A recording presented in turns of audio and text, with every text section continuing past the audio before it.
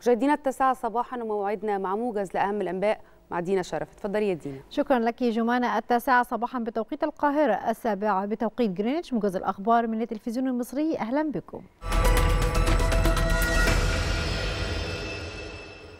وجه الرئيس عبد الفتاح السيسي الحكومة بزيادة حد الإعفاء الضريبي على الدخل ليصبح 36 ألف جنيه سنويا بدلا من 24 ألف جنيه. وذلك في سياق جهود الدولة لتخفيف آثار التداعيات الاقتصادية العالمية على المواطنين.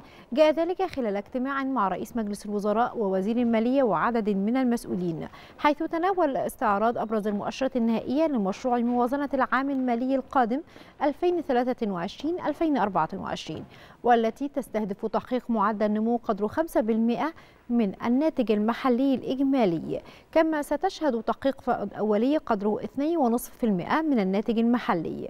وفي هذا الإطار وجه الرئيس السيسي بالاستمرار في الحفاظ على الانضباط المالي وضمان الاستدامة المالية للموازنة العامة للدولة بالإضافة إلى مواصلة اتخاذ كافة الإجراءات اللازمة لخفض الدين العام للموازنة وأعباء خدمته.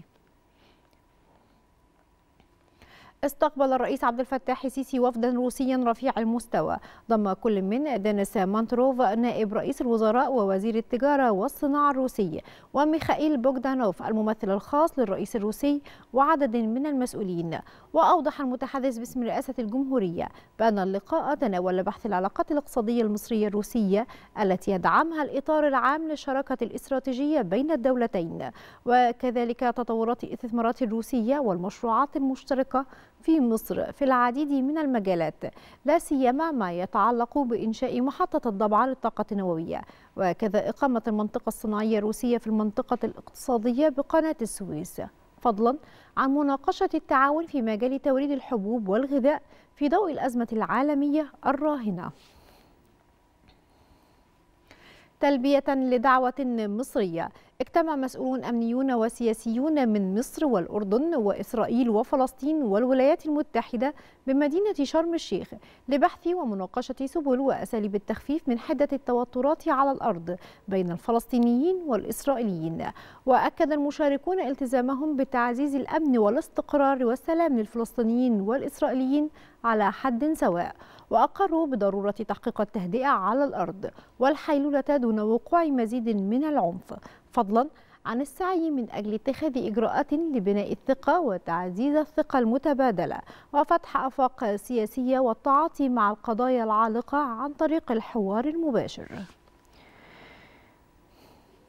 يبدأ الرئيس الصيني شي جين بينغ اليوم زيارة إلى موسكو. تستمر ثلاثة أيام وعشية الزيارة قال الرئيس الروسي فلاديمير بوتين إن العلاقات الروسية الصينية في ذروتها مؤكدا أن نوعية الروابط بين موسكو وبكين تفوق نوعية الاتحادات السياسية والعسكرية التي كانت قائمة إبان الحرب الباردة. وشدد الرئيس الروسي على أنه لا حدود ولا مواضيع محظورة في العلاقات بين موسكو وبكين.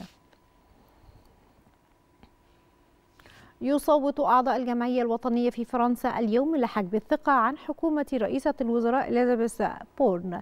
يأتي ذلك بعد أسابيع من إضرابات والمسيرات ضد قانون رفع سن التقاعد من 62 إلى 64 عاما. ولجوء رئيسة الوزراء إلى المادة التاسعة والأربعين من الدستور لتمرير القانون دون التصويت عليه في الجمعية الوطنية. وتقول الحكومة إن هذه التغييرات ضرورية لتجنب عجز نظام التقاعد في العقود المقبلة بسبب شيخوخة السكان في فرنسا. لكن المعارضين يقولون إن القانون يضع عبئا غير عادل على ذوي الدخل المنخفض والنساء والأشخاص العاملين في مهن شاقة. قاد الزعيم الكوري الشمالي كيم جونغ أون مناورات عسكرية استمرت يومين تحاكي هجوما نوويا مضادا بما في ذلك إطلاق صاروخ باليستي يحمل رأسا نوويا وهميا.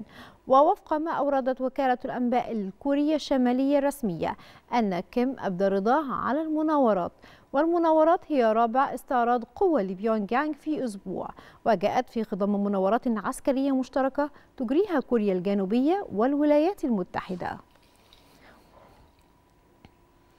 نجحت البعثة الأثرية المصرية الألمانية المشتركة في الكشف عن مزيد من بقايا معبد الشمس. وجاء ذلك أثناء استكمال أعمال حفائر البعثة في الموسم الحالي بالمنطقة المحيطة بمتحف المسلة المفتوح من الناحية الغربية والشمالية والجنوبية بمدينة أونو هليوبلس بمنطقة المطرية.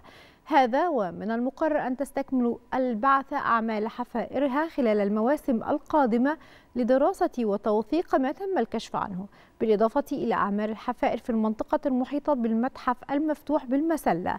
الأمر الذي يساهم في معرفة تاريخ هذه المنطقة بشكل أوضح.